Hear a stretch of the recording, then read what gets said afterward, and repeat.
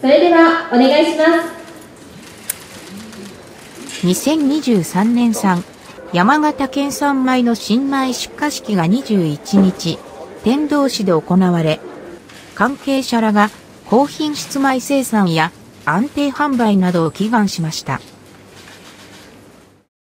ご同杯をお願いいたします。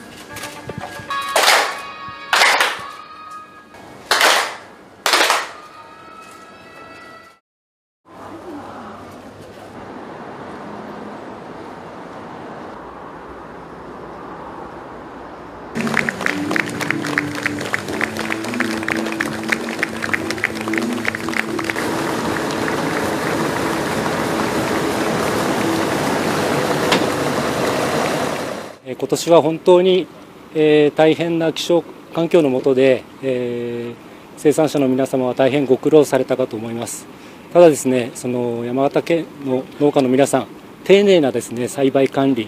によりまして今年も、えー、美味しいお米が出来上がりました、えー、早く、えー、皆様の食卓にお届けしたいと思いますしぜひご家族ご友人とですね秋の味覚新米をですねお楽しみいただければというふうに思います。